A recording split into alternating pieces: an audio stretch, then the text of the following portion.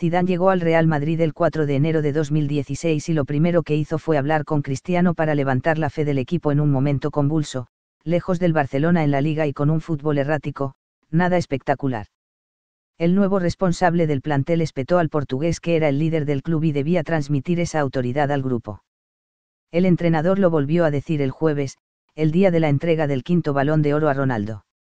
Y, el mejor jugador del mundo, como le definió el francés, ha inyectado, en efecto, ese poderío a la plantilla en un momento clave, frente al Sevilla, cuando se dirimía media liga para el Real Madrid.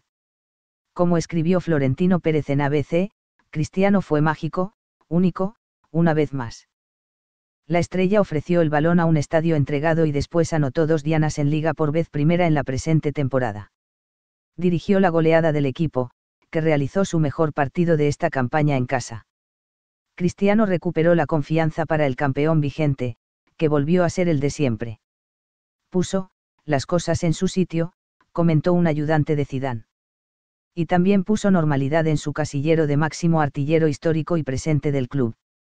El portugués es el primer goleador de la Copa de Europa, con nueve aciertos en la fase de grupos, y ya lo es también del Real Madrid en la liga, suma cuatro tantos en el campeonato español no tuvieron que ponerle el himno de la Champions para que se motivara, como pedía la afición.